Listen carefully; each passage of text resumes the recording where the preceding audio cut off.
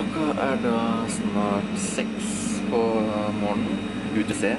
Og det betyr at vi skal melde vær her på Troll. Det gjør vi tre ganger i døgnet. Så det vi først gjør nå, er å gå bort og sjekke nedbørsbeholderen. Vi er nå inn i vintersesongen her på Troll.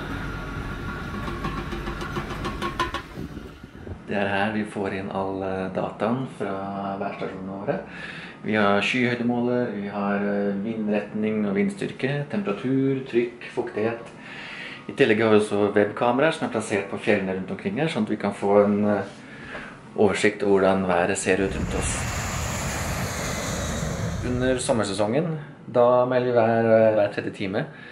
Og i tillegg enda oftere hvis det er flyaktivitet. Og da har vi også litt mer informasjon som går ut direkte til flyene med horisont, kontrast og diverse ting som påvirker eh, landingsforhold.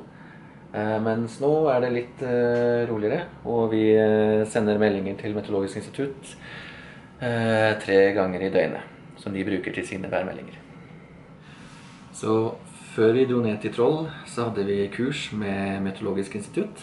Og nå er jeg og Brynjar ute og øver. Så ser du noe, Brynjar? Ja, Vi har nettopp bedømt høyde på skylaget ved å se et fly lette.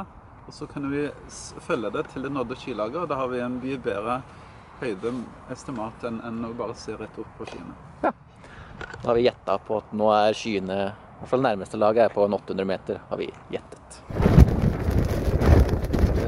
Mest spennende med å lære mer om vær, er hvor mye man faktisk kan eh, lese ut av skyene, hvor mye informasjon det gir.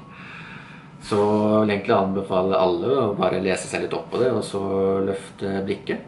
Mye man kan se på himmelen som man kanskje ikke har tenkt over før.